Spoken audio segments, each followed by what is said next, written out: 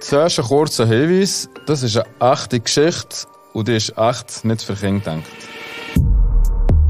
Ihr hört Nikos letzte Chance. Der Nico, das bin ich. Hier geht es um meine Geschichte. In Folge 1 schauen wir in meine Gerichtsakten.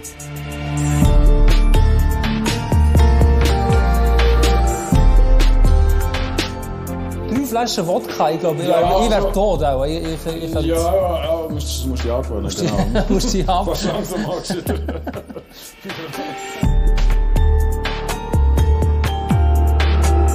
Aber das heisst, du, wenn du es gestreckt hast, dann habe ich auf der Gas gewusst, ja, der Nico, das ist nicht der, die beste Wahl. Ja, aber wenn dann niemand mehr hat und die Leute aber das brauchen, spielt es nicht keine Rolle mehr. Ist das gut oder ist das schlecht?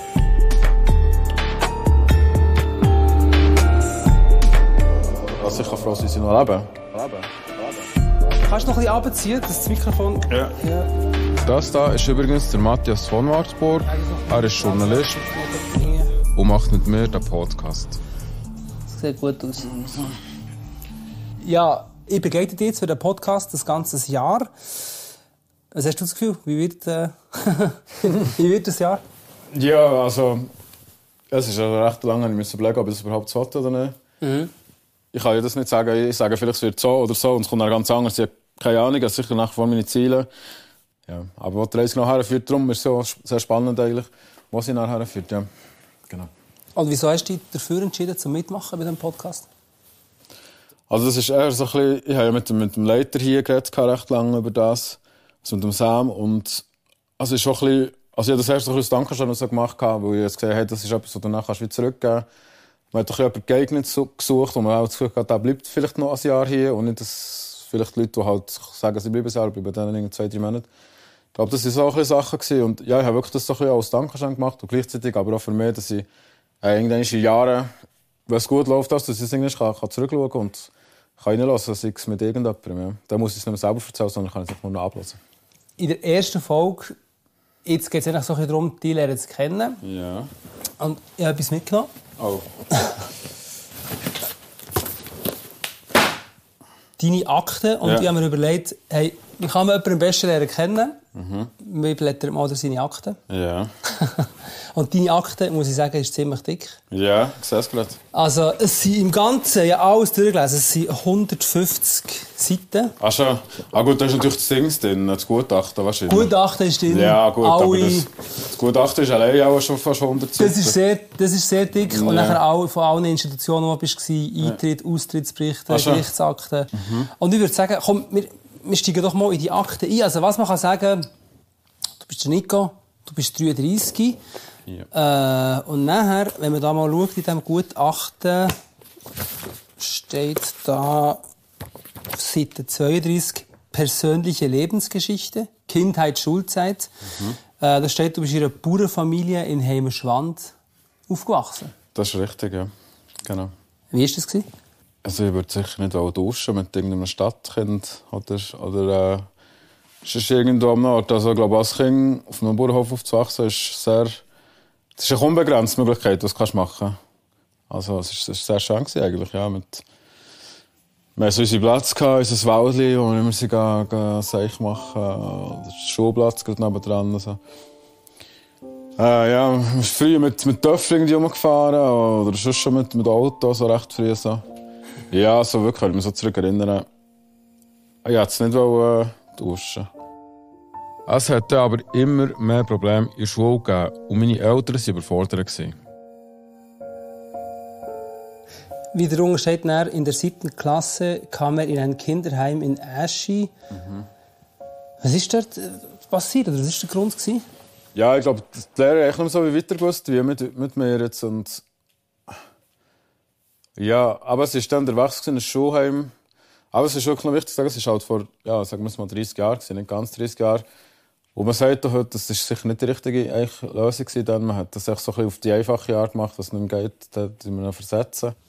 Aber du bist dann in das Schulheim gekommen und dort kommen wir schon zum nächsten Thema. Äh, in dem Gutachten äh, mit dem Titel Konsum psychotroper Substanzen. Ähm, da steht mit zwölf Jahren geschafft, Zigaretten rauchen, aber eben auch in der Vorlehre, die du gemacht hast, gekifft, Alkohol konsumieren. Wie hat sich das äh, entwickelt mit deinem, mit deinem Drogenkonsum? Ja, also entwickelt. Es ist noch schwierig zu sagen, wie es dann echt so weiter kam. Also, es, hat, also es ist schon so, so als ich zuerst mal die Öffentlichkeit bekam. Das bin ich nicht vom Bauernhof, das bin ich auch nicht in, in dieser Schule, wo ich war. Das bin ich nicht erst im Schulheim. Und dort kommst du schon mit Leuten zusammen von überall, halt wirklich auch die Probleme, sage ich mal. Und da ist man in Berührung gekommen mit, mit, mit Gras und mit Zigaretten vor allem zuerst mal. Also hat mir immer gereizt, so etwas zu probieren, wo, wo nicht legal ist, wo, wo einem äh, benebelt, sage ich mal. Das hat mir immer gereizt, ja. Und sind dann noch so ein bisschen die, ja, man sagt eine Einstiegsdroge, aber man sagt dem so, sagen wir jetzt einmal Einstiegsdroge, es war so, einfach gekifft. Aber bei dir war es eine klassische Einstiegsdroge, oder? Wenn man nur das kannst du sozusagen so noch nicht besser beschreiben, ja. Das ist, das ist so. Also nachher, noch während der Lehre sind also so Amphi, ja, Partydrogen? Genau. Ja. ja, genau. Das ist, während der Lehre ist, ist es so. Aber es hat sich dann weiter, man ist, dann zuerst, man ist älter geworden, 16, 17, jetzt erst mal Partys gegangen. Und umso mehr, umso weiter man weg ist gegangen, umso näher sind die Drogen gesehen. Und hat man schon an den Partys, den Festivals, also hat man aber schon, schon ähm, konsumiert. Aber Amphetamin, so, Koks jetzt noch nicht, das habe ich dann gar nicht gekannt. Das, mhm. das, das, ich, ich habe nicht gewusst, dass es Amphi, Amphi ist. So. Das einfach, ja, man hat das so dann genommen. So ist der Weg auch weitergegangen. Ja. Ich habe dann eine Lehre als Maurer gemacht, dann aber immer mehr Drogen genommen, habe viel verschlafen, bis es nicht mehr gegangen Das ist dann noch in die Lehre verloren, im dritten Lehrjahr. Und bin dann auf, bin dann auf der Suche nach Koks, ich wirklich aber nicht so viel Geld dabei hatte, vielleicht 100 Stutz. Und dann in Bar unterwegs im Casa Marcello, das ist so ein bekannter Shop, so eine Bar. Und dort habe ich echt Kokino gekauft und habe gesehen, also ist dann einer gefragt, Kokino gesagt, aber nur so, also 50, ich glaube nur die Hälfte, für die Hälfte. Und dann sagt er, nimm doch Sugar, das ist, ist zum halben Preis bekommst du aber das Doppelte. Und was ist Sugar? Keine Ahnung. Also ist auch eine Droge wahrscheinlich. Und da ich die auf der verloren habe, besoffen war, dann so, dann so, ja, ey, nimm Sugar, es gibt das Doppelte. Ja, besser geht's ja nicht, oder? Gleich noch ein Happy End an diesem Tag. Und so bin ich dann auf das Heroin gekommen. Aber ohne wirklich, ja, nicht gesagt, jetzt wollte ich mal Heroin probieren, schauen, das ist. Ich bin wieder aufgeklärt über das Ganze. Und ich habe das konsumiert, an dem, dieser Menge und dieser Menge habe ich wirklich vier, fünf Tage oder vielleicht sogar fast eine Woche gehabt. Also wie war es, als du es genommen hast? Wie, wie, wie ist, was war der Unterschied? Also, wie, wie sich das anfühlt, so, Mensch. Ja, jetzt, Heroin, du hast gar nicht gewusst, was es genau ist. Nachher, mhm. Du hast genau. es nicht also gespürt, also, du hast es Nein, nein genau, das Knöpft ist gesnöpft, ich habe so eine Dinge geraucht, das Knöpft, und ich habe gemerkt, das ist nicht euphorisch. Es ist eher so beruhigend. Also, würde es fast mit Cannabis vergleichen. Du bist wirklich ruhig und, und vergisst, also, ja, du bist dann sorgenfrei natürlich so. Also, man hat das Gefühl, man, hat das Gefühl, man ist sorgenfrei. Und es gibt echt so ein eine Wärme. Das ist echt so, du bist zufrieden in dem Moment. Du bist aber nicht euphorisch wie auf Koks oder so. Du bist wirklich zufrieden. Machst dann auf, wenn du es nicht mehr hast, so am fünften Tag vielleicht, dann bist, merkst du, dir geht voll verschissen. Und dann denkst du ja auch noch ein bisschen Kater oder, oder irgendwie von diesem Zeug. Dann merkst du aber, es geht immer schlimmer. Und nachher, ab dann noch checkst, gehst du vielleicht googeln oder was immer, merkst du, du bist abhängig. Körperlich.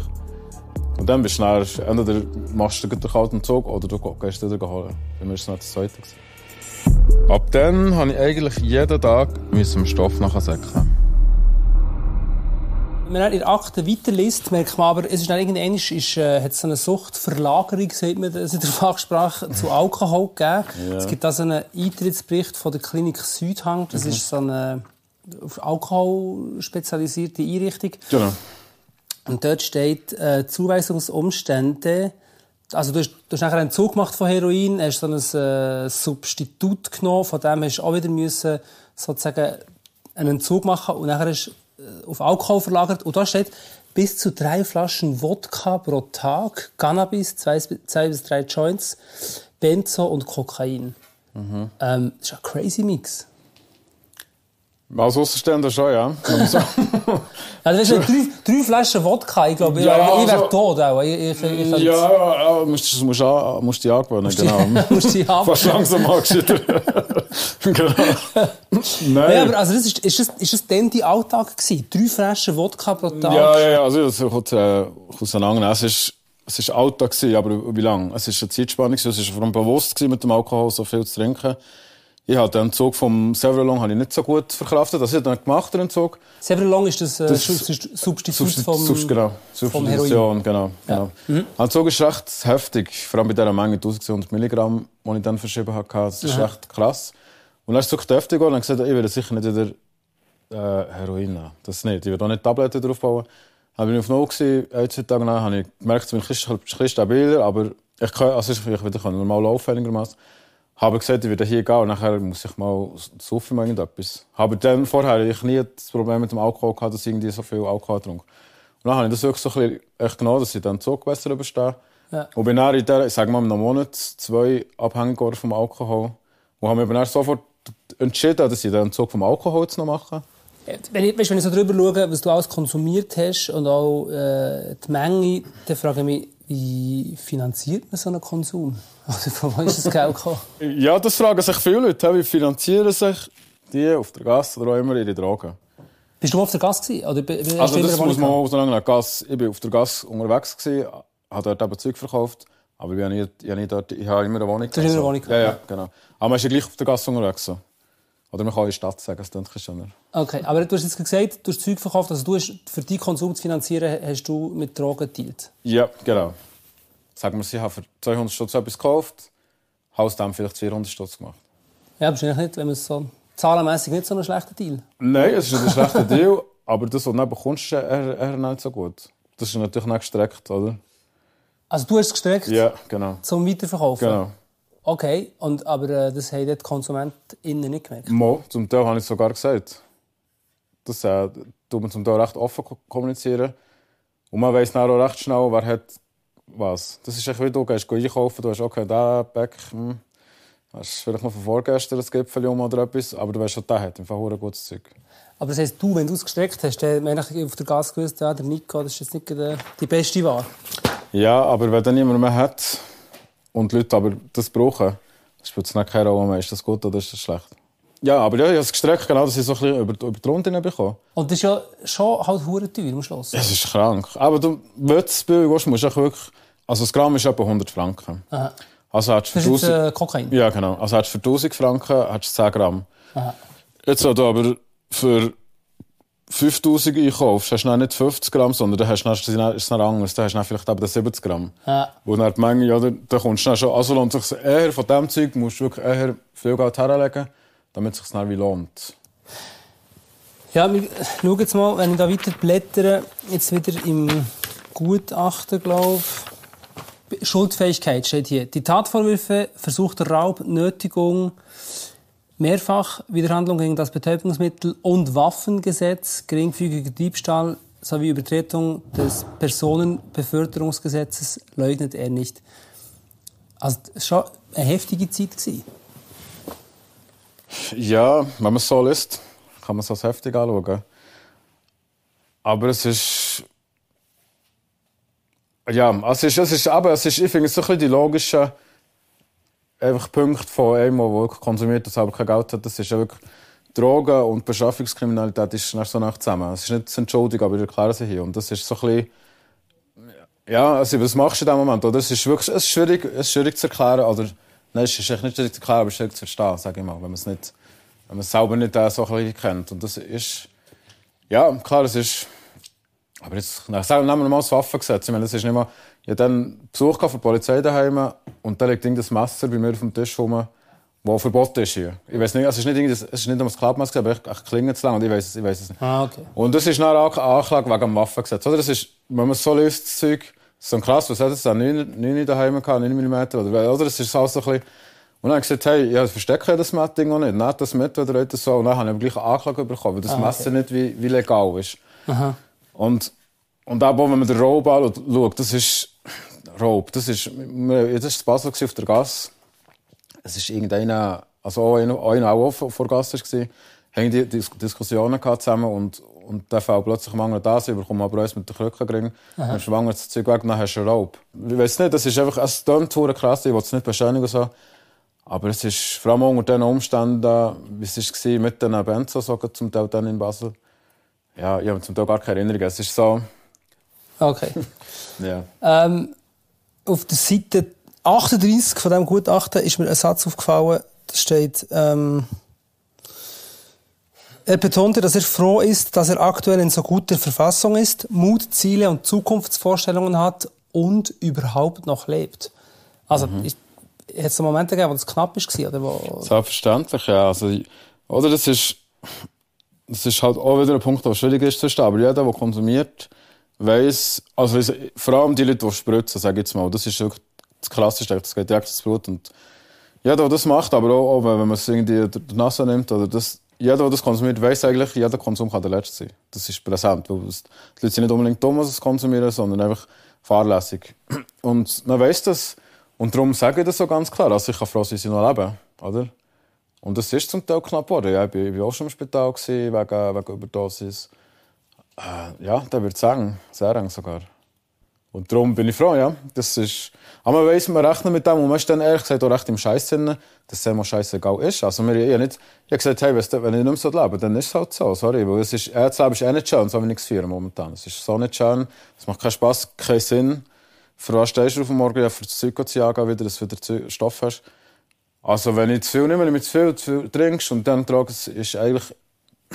Also das ist dann gleich, ich habe gesagt, es ist natürlich anders. Ich rede jetzt von denen, wie ich es dann habe gesehen, oder? Also, mhm. Genau. Wenn man dann weiter liest in diesem Gutachten, dann wirst du eigentlich zitiert im Sinne von, ähm, dir sei bewusst, dass das Gefängnis vielleicht ein kürzer Weg wäre, mhm. aber er wisse auch, dass das Mädchen Bühl, also hier Teravecchia, seine letzte Chance sei, er wisse, was auf dem Spiel stehe. Um was ist dort genau gegangen? Ja, also es war echt bei Gerichtsverhandlung. Also dort haben sie mir klar gesagt, dass, dass ich muss wissen, das haben wir wirklich haben Staatsanwalt gesagt, das haben wir der Gerichtspräsidentin gesagt, dass ich muss wissen, dass eine Massnahme länger geht als die Haftstrafe. Und also es gibt Optionen, entweder in Knast oder eben so wie eine Massnahme genau. bei einer Institution. In meinem Fall eine 60er-Massnahme, ähm, Artikel 60. Ist ein längerer Weg, aber, aber was bringt mir der Knast? Und ich habe das gesehen, zum Glück auch, die anderen, die, die mich ja angeklagt und, und, und eben die Richter. Die haben ja auch gesehen, also ich war schon im Gefängnis zuvor und die Bus haben gleich weitergemacht. Und das ist so ein das Argument. Sie haben gesagt, ja, das sind das Jahr fast gehockt und das kann man raus machen, genau gleich weiter. Und, ähm, das Gericht hat es dann so wie andere, also gesagt, dass das eigentlich keinen Sinn macht und darum haben sich die 60er, also Massnahmen gegeben. Und das ist so ein bisschen, es lohnt sich sicher mehr. Also klar, ich meine, ich schon hier, was ich erreichen konnte und alles, das zeigt eigentlich schon viel. Hey, etwas, was mir auch ist aufgefallen als das da weiter hinten, ähm, er habe ca. 120.000 Franken Schulden. Du bist ja. 33, wie zur genau. Hölle kann man 120.000 Franken mhm. Schulden machen? Das muss man... Das war dann beim, beim Dings, beim, beim Gutachter. Und er hat gefragt, er hat er schon. Und gesagt, ja, es müsste auch etwa 120.000 Franken sein. Also, wenn man mal böse verschätzt, ich bin dann irgendwann mal aufs Betriebsamt gegangen, da sind wir vielleicht bei 40 gekommen. 40.000, so. Ist natürlich auch nicht Ist auch nicht so geil, aber... Nein, äh, aber es ist... Darum, ich habe es dann nicht mal so angesetzt. Ja. Auf jeden Fall hat es ein Urteil gegeben, ähm, und da steht der Vollzug der Freiheitsstrafe wird aufgeschoben und eine stationäre Suchtbehandlung angeordnet. Also das heißt, das ist wie die Maßnahme, dass du jetzt hier bist. Genau. Und jetzt bist du hier und Jetzt nimmt es mich wunder, weißt du, das sind so deine Pläne gegen vorne schauen. Ich habe hier ähm, auch in diesem Gutachten gesehen, er möchte Kranführer werden oder die Kranprüfung machen. Mhm. Warum? Ja, so, das ist jetzt angeordnet worden, die, die Massnahme. Und da muss man sich überlegen, ja, was kann der, was kann der helfen für die Zukunft? Wenn ich vorher bin ich war, habe ich nichts gehabt, keinen Abschluss, irgendetwas. Und dann habe ich überlegt, das Kranführer, ich meine, ich komme ja vom, vom Bau und habe viel die Kranken gesehen, selber auch bedient, habe ohne Ausweis. Zum, zum dem kommen, ich denke, das wäre sicher ein Ziel hier. Plus eben die finanziellen Sachen angehen, wie, wie, wie tut man es clever einfädeln. Ja, und das ist ein bisschen Plan. Und weitere Pläne würde ich sicher hier in Gesprächen anschauen. Also, ich meine, das ist der Anfang alles. Muss man zum Teil sicher auch beraten von Leuten, die, die hier sehr viel Erfahrung haben gemacht mit, mit solchen Technologien. Ja, jetzt bin ich gespannt. Merci vielmals. Ja, merci dir. Du fängst an, oder? Ich fange an und ich melde mich wegen ja. Datum. Mach's gut. Ciao, ciao. Okay. Das ist jetzt ja, ein crazy Gespräch mit dem Nico und ähm, diesen ganzen Akten. Jetzt Sam, kann ich schnell noch zu dir? Ja, komm mal. Vorbeikommen. Ich war jetzt gerade beim Nico für die erste Folge. Mhm. Und jetzt äh, würde ich gerne mit dir noch eine kleine Einschätzung drauf aufnehmen. Schau, ich gebe dir da so ein Mikrofon. Mhm. Am besten, das genau. Ja, genau. Ja, hey, jetzt, das war mega spannend. Ich bin mit dem Nico die Akte durchgegangen. Aber zuerst schnell, wer bist eigentlich du? Mein Name ist Sam Brünker, ich bin der Betriebsleiter für Sozialtherapie Mauchenbühl. Ich arbeite seit 18 Jahren für die Stiftung Terravecchia. In der Leitung von diesem Betrieb bin ich seit fünf Jahren. Jetzt begleitet mir ja der Nico ähm, hier bei Terravecchia und eben, ganz früh seine Drogenkarriere angefangen, hat, ist im Gefängnis gewesen, hat Schulden, irgendwie, ja, mit auf seine letzten 33 Jahre zurückgeschaut. Für mich extrem krass. Ist das von diesen Fällen, die ihr hier habt, ist das ein klassischer Fall oder ist er so außerordentlich? Also ich glaube, ein klassischer Fall, so kann man nicht sagen, weil es gibt nicht einen klassischen Fall. Jeder äh, von unseren Klienten und Klientinnen ist individuell und ganz anders. Aber wenn man seine Akten so durchliest, hat es viele Elemente drin, die ich auch in anderen Biografien äh, immer wieder äh, lese. Und so, von dem her ist es nicht so, dass man muss sagen, es ist etwas Außerordentliches. Viele von diesen Elementen, schwierige Kindheit, äh, früher Drogenkonsum, das ist etwas, was wir auch in anderen äh, Fällen kennen. Hey, ich bin mega gespannt, wie es jetzt weitergeht mit ihm. Ich begleite ihn jetzt ja ein ganzes Jahr lang äh, hier in der Sozialtherapie.